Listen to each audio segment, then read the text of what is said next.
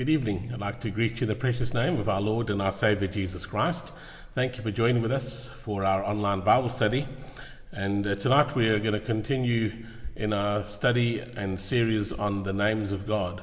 So let's pray and commit this time to the Lord. Let us pray.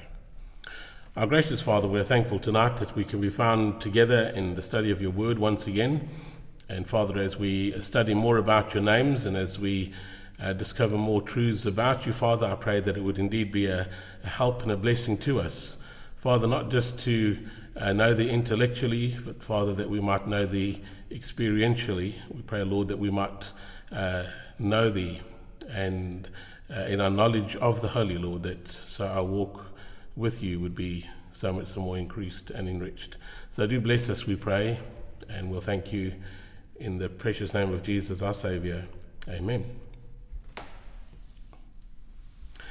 We've um, seen over the past several weeks as to how God, in uh, a few different ways, has revealed himself and revealed his name uh, through his works.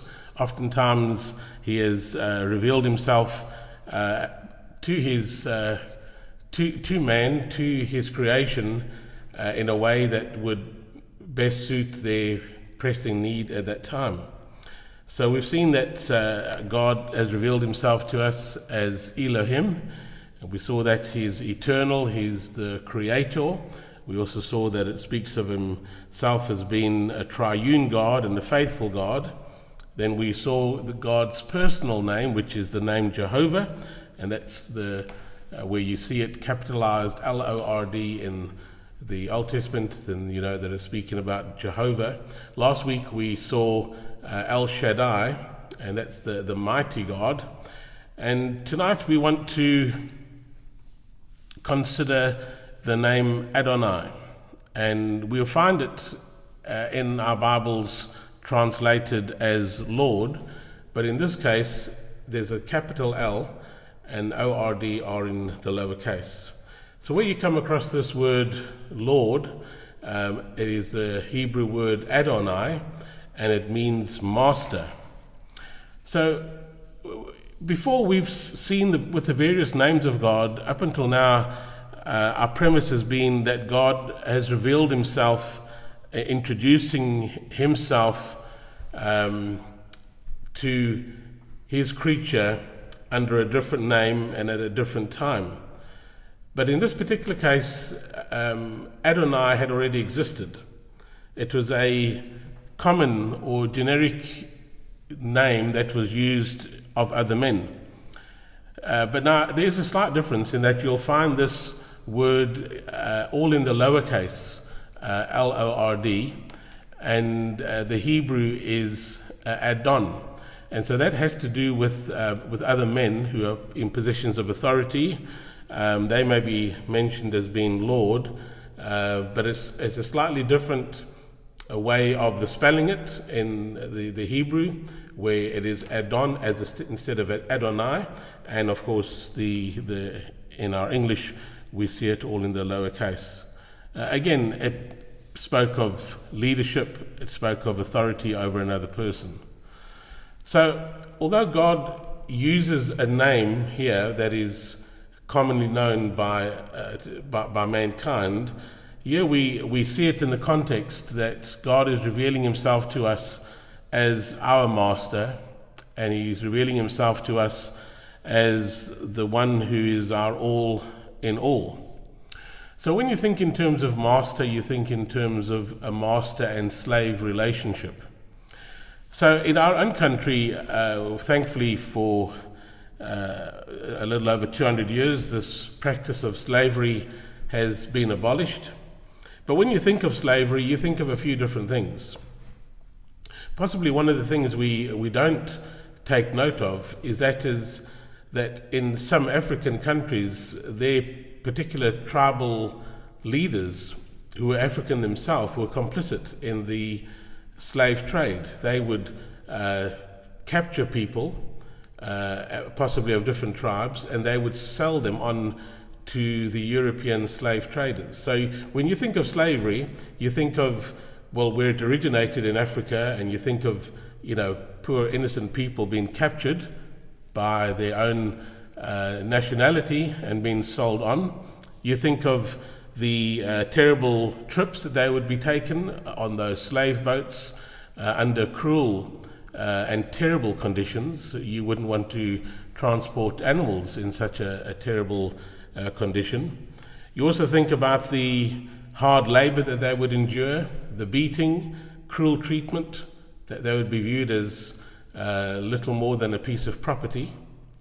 So when you think of slavery, it certainly has, it is a blight on our own history uh, as a country. And although slavery is abolished, sadly, it does still exist in some terrible and wicked forms to this day. But of course, it is illegal. But in the ancient world, slavery was quite different to how we would view slavery in more recent times. Now, I don't say this excuse slavery, I'm just trying to put a, a perspective before you so that you can understand as to how slavery was viewed in biblical times as opposed to how we might think of it in our more recent history. So, slavery did include ownership, but it was different to the ownership of, say, an animal. A purchased slave would enjoy a closer relationship with his master than what perhaps somebody that was hired to do a particular task on the farm. He was considered to be a, part of the family of his master. Uh, he was an, he was owned, and, and of course there's no nice way of saying that. He was owned, but he and he was considered to be the property, but he enjoyed a very close relationship uh, as a slave. And as a purchased slave, he had the right to the master's protection. As a purchased slave, he also had the right to the master's provision. It's also interesting that with Abraham and Sarah, before they, they had a, their son Isaac, the heir of Abraham's entire household was actually a, a servant, a slave. If you'd like to go to Genesis chapter 15 with me, Genesis chapter 15, and we'll read the first few verses there. Verse 1 says, After these things the word of the Lord came unto Abram in a vision, saying, Fear not, Abram, I am thy shield and thy exceeding great reward. And Abram said, Lord God, what wilt thou give me, seeing I go childless? So up until this time he had no children at all. Uh, Ishmael hadn't been born. You only see of that in the next chapter. And of course, there was no Isaac. He said, Lord, what will thou give me, uh, seeing I go childless? And the steward of my house is this Eliezer of Damascus. So Eliezer was the, uh, the head slave, but he viewed Eliezer as the, the one that was the heir of his whole household. Because verse 3 says, Behold, to me thou hast given no seed, and lo, one born in my house is my heir. He's referring to Eliezer. And behold, the word of the Lord came unto him, saying, This shall not be thy heir, uh, heir but he shall come forth out of uh, thy own bowels, shall be thy heir. So Eliezer was heir of all that Abraham owned, all that Abraham possessed, but Eliezer was Abraham's slave. So the slave master relationship was far closer in uh, a far closer relationship in biblical times than what it was in more recent times. Now the Bible teaches us that God is our Lord, he's our Jehovah, and so he's our Elohim, he's our Jehovah. We've seen that he's our Almighty God, he is our um, El Shaddai, but he's also our master. And so when we think of our God as being our master, we don't think of a, a master from which we would um, shrink away from in fear and in terror and in, uh, in fear of any kind of mistreatment. No, we think of our master uh, in a different light altogether. We can draw near to our master, and he's our Adonai, and he's one that provides for us, and he's one that's able to protect us and meet our every need. So we see this uh, emphasized actually, and we'll see how it's emphasized throughout the Old Testament. In Psalms 23, for instance, uh, 123, I beg your pardon, um, David says this. He says in, in Psalms 123, verse 1 and 2 Unto thee lift up my eyes, O thou that dwellest in the heavens. Then notice the principle, verse 2. He says, Behold, as the eyes of servants look unto the hand of their masters, and as the eyes of a maiden unto the hand of her mistress, so our eyes wait upon the Lord our God until that we have mercy upon him, until he have mercy upon us. So in this particular scripture, now the, we see that God has been emphasized as being our Jehovah. He's the Lord. He's Jehovah, our God, Elohim.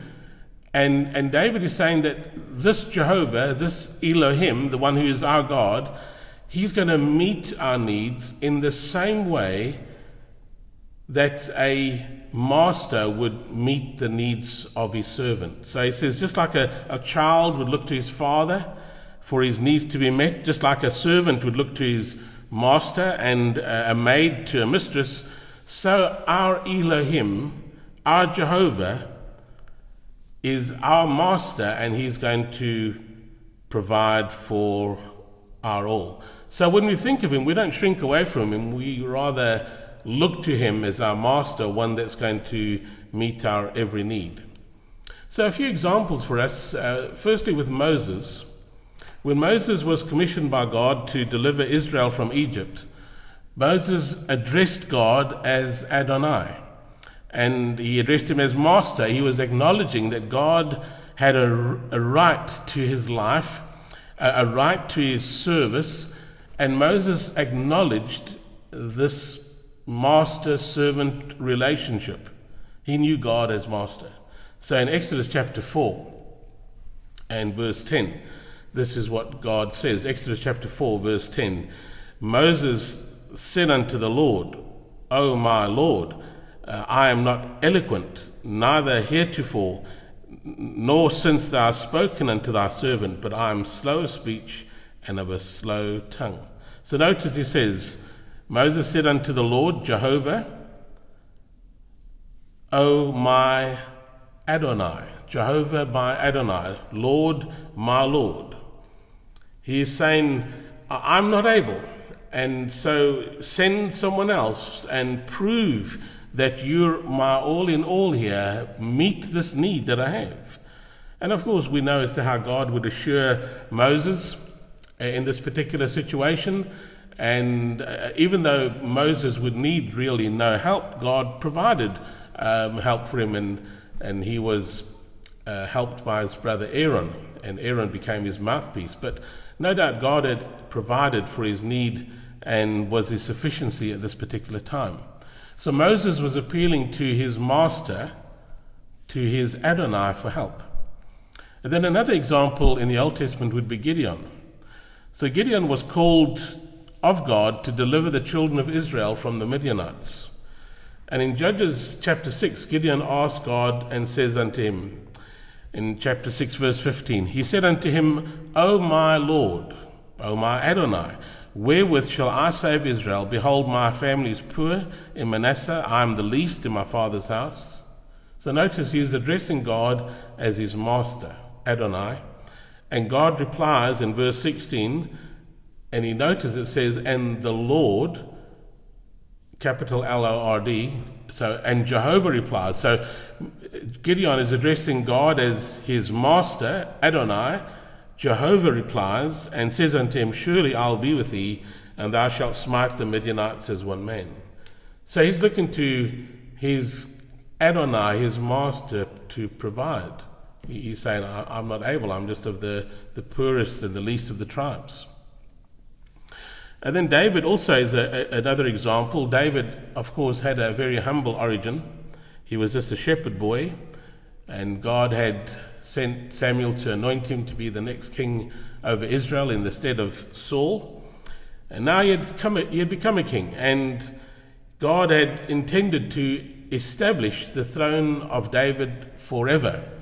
And this is, we know this has been the Davidic covenant. And when God, in in uh, 2 Samuel chapter 7 rehearses to David all that he's going to do for his uh, name and for his family. And as God is impressing the, the details of the Davidic covenant with David, David is surely astounded that God is going to um, use him and think of him in such a way. And so if you look at 2 Samuel chapter 7, 2 Samuel chapter 7, and we'll read from verse 18. And I'd like notice that uh, verse 18 says that uh, King David, then went King David in and sat before the Lord, sat before Jehovah, and he said, Who am I, O Lord God? What is my house that thou hast brought me hitherto? And this was yet a small thing in thy sight, O Lord God. But thou hast spoken also of thy servant's house for a great while to come. And is this the manner of man, O Lord God? And what can David say more unto thee? For thou, Lord God, knowest thy servant. Do you notice how many times he is referring to his God as Master, Lord God? And in fact, when you read through the Psalms, you'll find that this is a, a very well used name that David uses of God. He often refers to him as Adonai. So in Psalms 141, in verses 8 through to 10, David says, My eyes are unto thee, O God, the Lord, Adonai. In thee is my trust. Leave not my soul destitute. He says, Keep me from the snares which they have laid for me and for the gins. Or gins is like a, a snare or a trap. The gins of the workers of iniquity. Let the wicked fall into their own nets, whilst I withal escape. So he's looking to, to Adonai specifically, his master, to provide and to protect him from his enemies.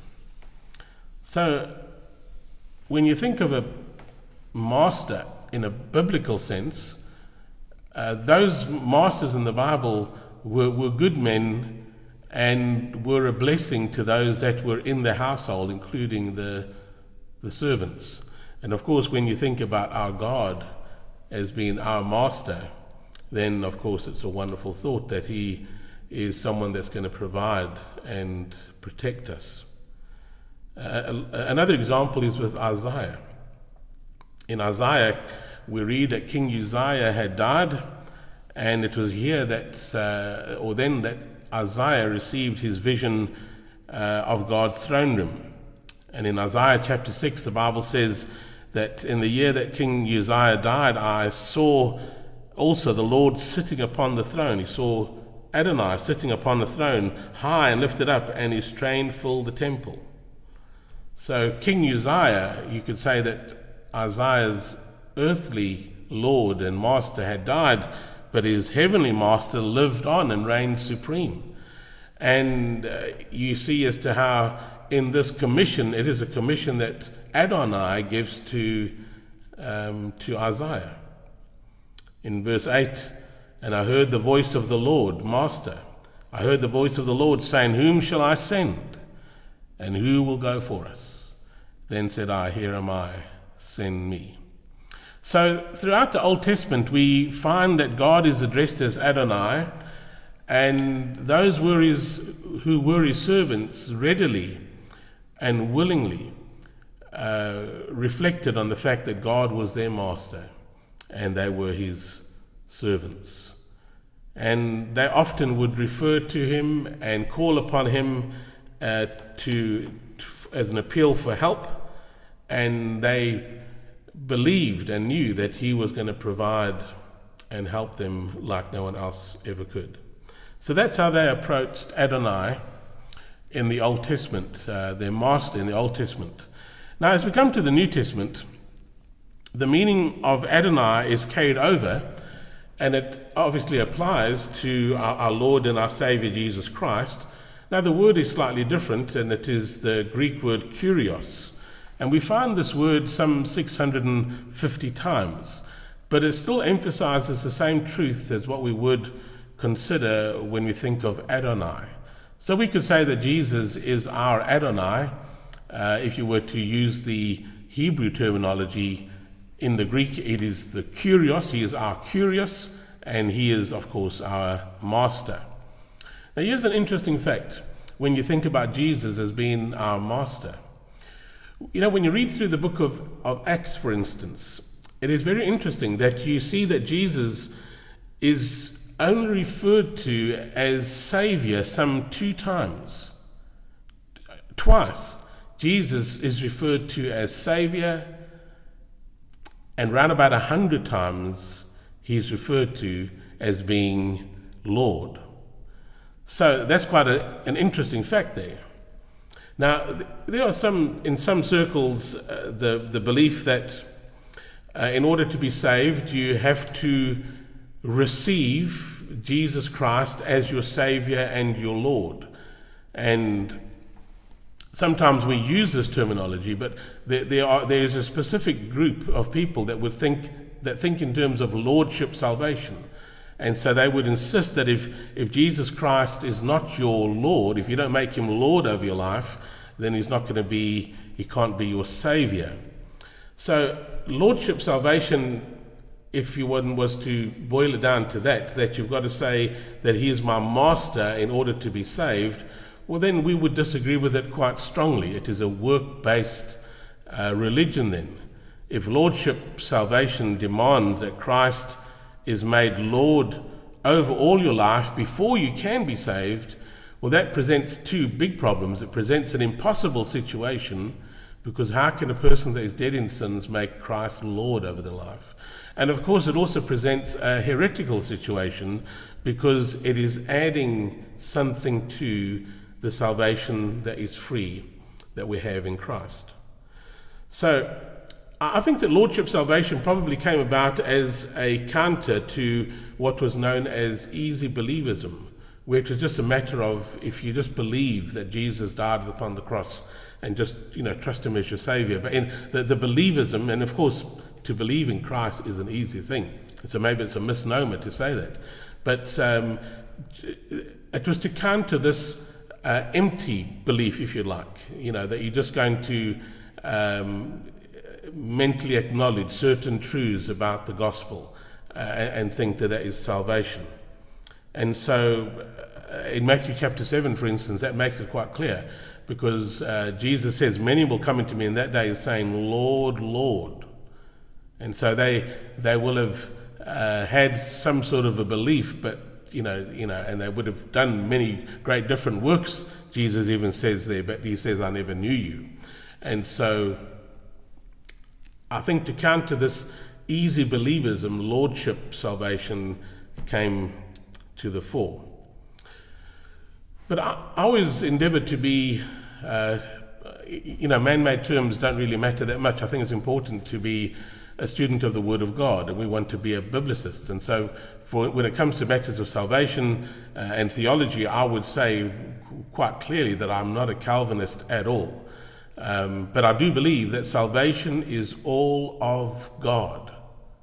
I don't think that we aid uh, to the salvation in one way at all. We would say salvation is all of God, but then on the other hand, we would also have to affirm that this wonderful salvation that God has provided requires a response from, um, from man.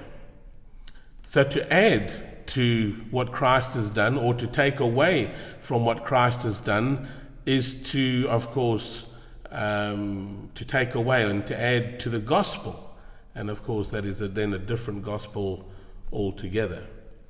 So when we come to salvation, we would say salvation was in the heart of God from eternity past. It was progressively real, revealed to man uh, throughout the, the Word of God and it reached its uh, climax in the Lord Jesus Christ, where he fulfilled all the promises and all the pictures that we have in the Old Testament when he died upon the cross and made the way possible that sinful men and women could be saved. And of course, now today, God uses his Holy Spirit, who uses his word to bring men and women to a realization of their con- lost condition and their need of the Savior. Now, you may be wondering where am I going with this, but I'm saying this because I do not believe that in lordship salvation, in the sense that you have to make him Lord of your life in order to be saved. I don't think that is correct. So I do not believe in that at all. But I do believe that when a, a sinner comes to the realization of their sinfulness and they recognize who Jesus Christ is and what he's done for them to provide a salvation, that same sinner then has no problem in confessing that Jesus Christ is Lord. So, for instance, when Peter on the day of Pentecost was preaching, he said this in, in, Acts chapter 2. He said, It shall come to pass that whosoever shall call upon the name of the Lord, Kyrios, Master, whoever shall call upon the name of the Lord, and we know he's referring to Jesus, of course, but he uses the word Lord.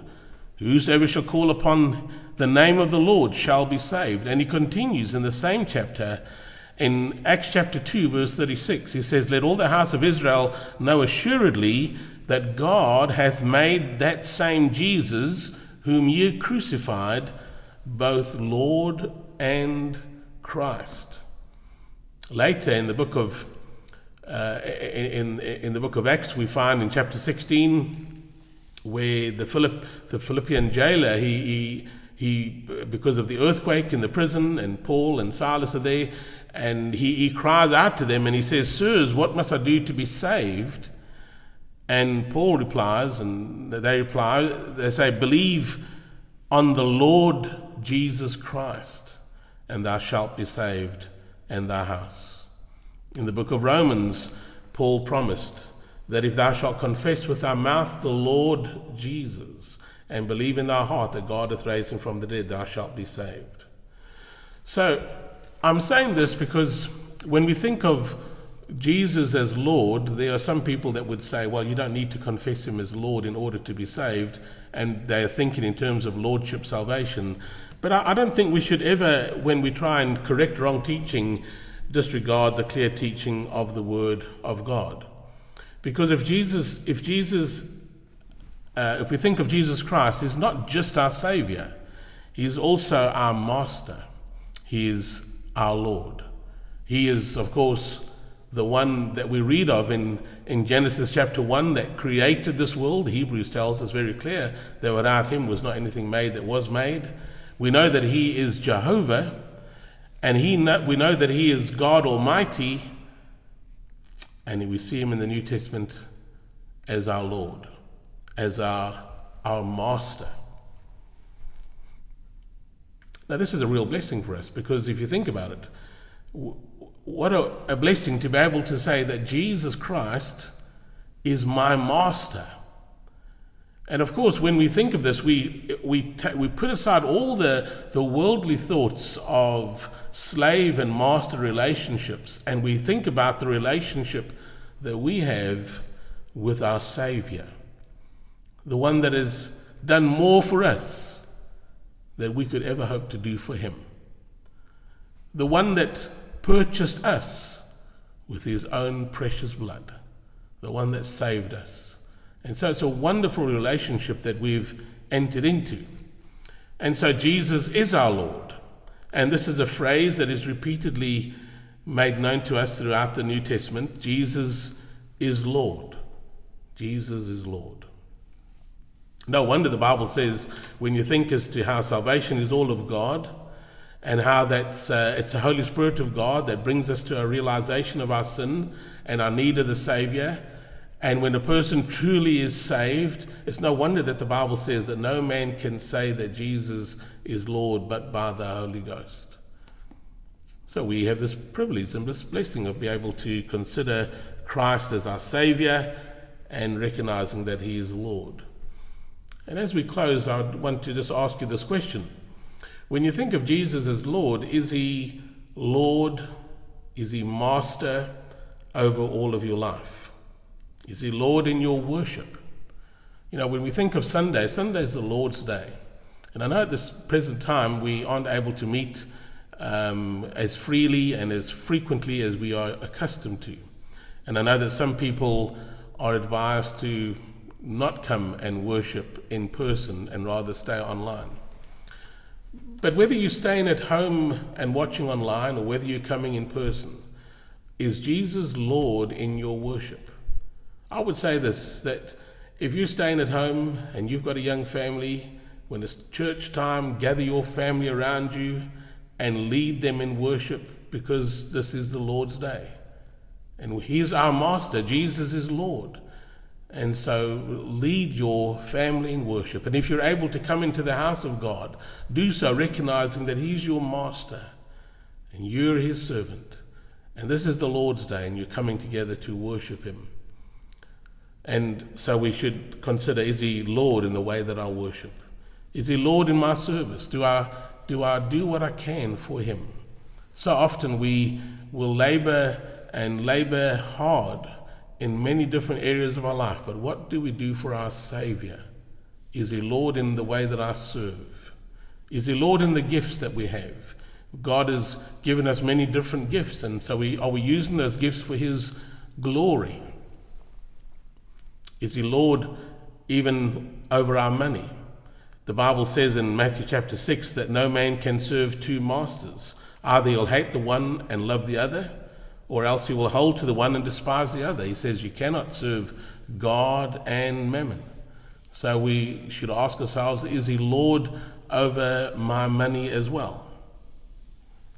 So when you think about these things, we need to. This is a question that we only ourselves personally can answer, where we would say, Is he truly Lord of my life? God has blessed us and He's uh, enriched our lives in many different ways, and He's made us stewards of these things. But these things are to be used for His glory, and we can be blessed as that they're also used for our good as well. So I trust that the Lord will bless you as you think about this wonderful name of our God, Adonai, in the Old Testament, Kyrios in the New Testament, where we recognize that He's our Master and we are his servants. And as our master, we look to him for our provision and we look to him for our protection. And as his servants, we want to give back to him faithfully, serving him faithfully, because we are his servants.